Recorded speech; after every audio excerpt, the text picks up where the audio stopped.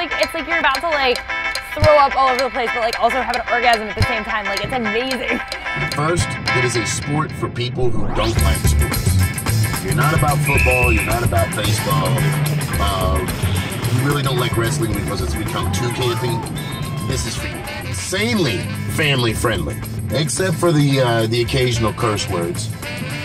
Uh, it's it's just a great time. I mean, I love my, I enjoy it. Uh, you know, it's not my wife's favorite thing, but you know, she likes it. That the you know, my daughters, I have three little girls, they love it, and um, and, you know, so it's sort of for, for us, it's become that's kind of our family thing. You know, we're all involved in our little way. The thing. It's got all the spectacle and pageantry that you you get with wrestling, but the hardcore intensity that you get with uh, traditional sports. Moreover than that, it's not guys; it's uh, it's women, and to see ladies competing at this level at a you know at a very dangerous sport. I mean, they get to where they're going anywhere from uh, 25 to 35, sometimes 40 miles an hour. Now, if that's a car that hits you like that, you're going to the hospital. So, coming at it that way, coming with your mind wide open. Don't think of this like baseball. The first couple of times you come, forget about this trying to keep score. It's not going to happen. Basically, it breaks down like this. You got two teams with five players each, so there's a total of ten young ladies on the ring or on the track at any given time.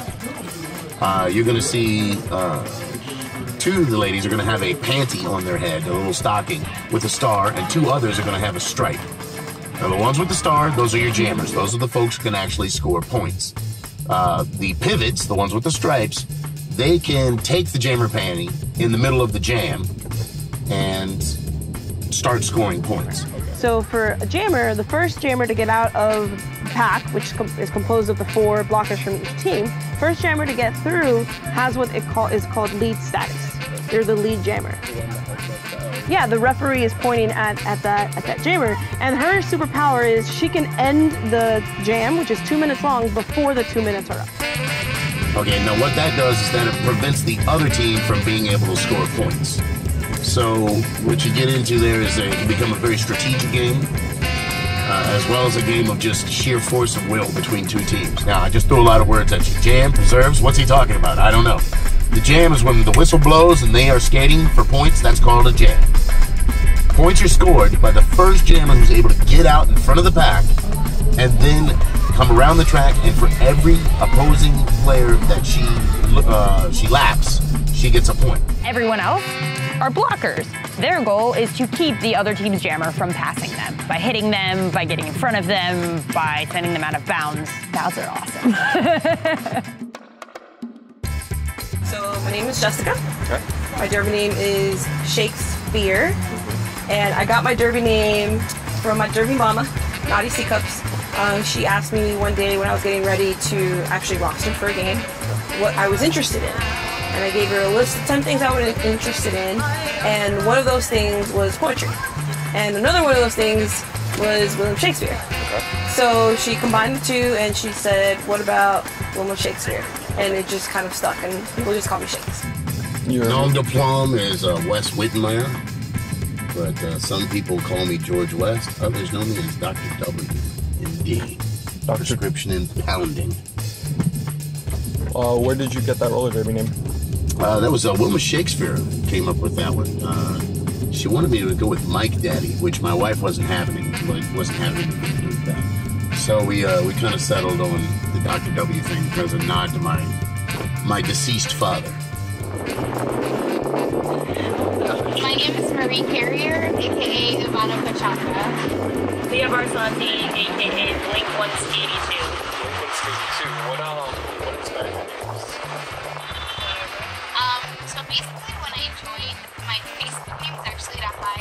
graduate school program or like all my other jobs.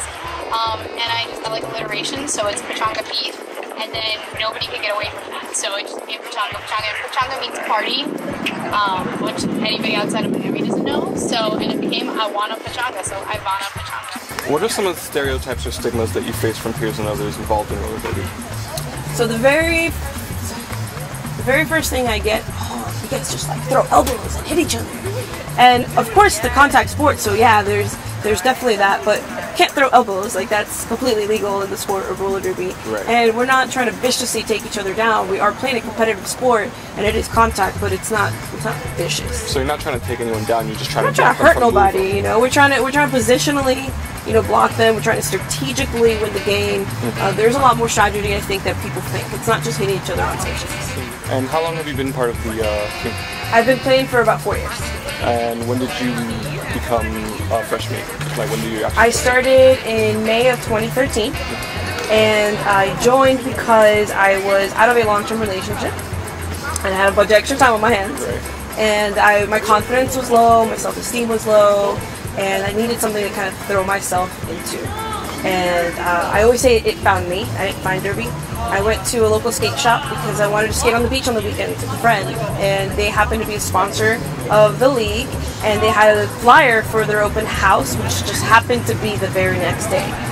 So I came to the open house and I saw one of our skaters, Tyler Gator, do like a turnaround stop on her skates, and I thought it was the coolest thing in the world. And I knew that the, the vibe that I had from the women that were there was relaxed and casual and it was super genuine, and I knew that I could totally get into it. Um, about three years now, I've been involved with uh, 24/7 Miami.tv, and uh, I had my own show. Uh, it was a political talk show, and uh, I was supposed to do a show about the, the modern look of feminism. What does that look like in the new millennium? And uh, my guest bailed on me, so I go to the producer, um, William, uh, Louis Chacon, and he said, "Well, you should get the Derby Girls." Okay, you give them a call?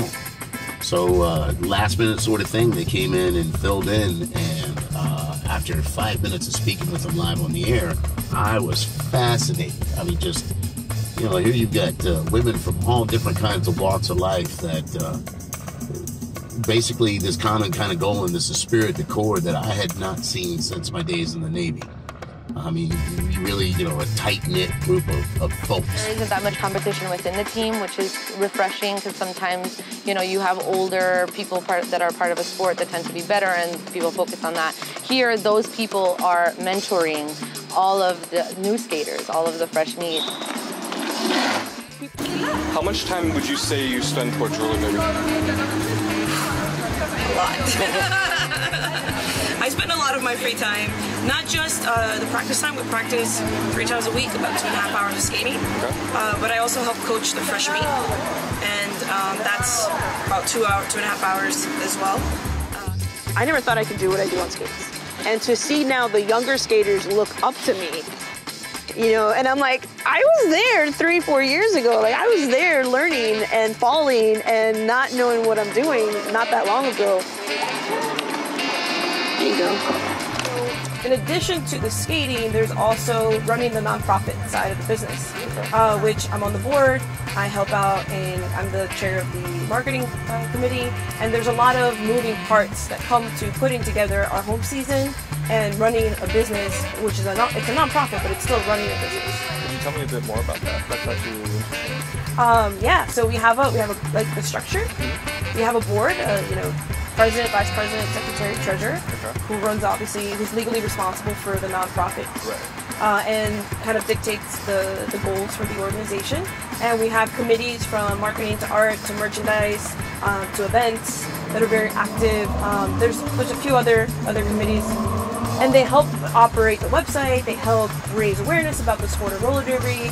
Um, they also help put on some events or partner with other uh, people. They help uh, we get sponsorships uh, through a sponsorship committee. So there's just a lot of uh, it's all volunteer. It's all extra time that, uh, in addition to our day job, that we put in, in addition to our skating time that we put in, that we help run run. Um, do you have any involvement with the uh, the nonprofit side?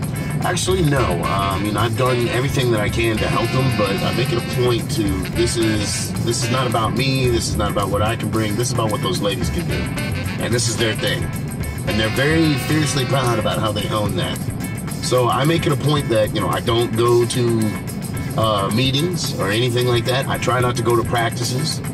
I go and I do the, the games, you know, I, I, and that's it. I, I keep it at a very, you know, kind of a. Although I'm friends with a lot of the skaters, uh, at the same time, you know, I, keep, I try to keep it very professional because you know they're for them, they would like this to be picked up and, and taken as a, a, serious sport. Now, if I go and act like uh, you know a, a, professional wrestling announcer, it's you know where somebody's waiting for me to puke out, Tanner, that's not going to bring credibility to it. Now, do I tell jokes? Yes. Uh, am I trying to be entertaining? Absolutely, I am. But what I'm not trying to do is I'm not talking about oh you know she's uh, wearing a fishnets or I'm telling off-color humor that's uh, misogynistic or anything like that. So it's very cool. It's very punk rock. Everybody has a ball. Uh, what would you say drives your passion for rollerblading? Love skating. Just I really love skating. I, I also like being able to hit people. Like that's really fun after like a long day. But um that's not why I practice every day. I, I love I love skating and like really other forms of exercise kind of bum me out. So, so this is good. Um, my reason is, is really my community, like the community that I join. Um, so I, I too like love being athletic and stuff like that, and I hate like structured forms of uh, physical activity. And so they both kind of play in tandem. Like days that I'm like, oh, I really don't want to be physically active, my community makes me do it. Or like days that I fucking hate everybody on the track, I'm like, oh, I gotta get a good workout. So this is something that you see yourself following for a long time. I hope so. I hope so. I mean, at this point, you know, I should be having a midlife crisis. I'm 44 years old. Let me tell you this punk rock will never die. However, it will go gray, it will get bald, and it will get fat. Okay, case in point. Uh, so for me, this is kind of a being a family man at this point. You know, I've got you know got to do the day job, got to be a business owner and all that, and you know, you know, I've got to be that guy. This is my kind of link back to the the the salad days of, of being you know anti-authoritarian and all that kind of stuff. I, I still have my link to it. So once a month, I get to go out and, and be a geriatric punk rock guy. It's it's fun the first year and a half that I lived here, I kind of didn't have like a thing. I, I, didn't really like Miami. I don't know. I guess I was homesick. But um, this has this has kind of gotten me out of that. It's given me a group of people and, and something to do that I that I really love, and this connected to everything I love.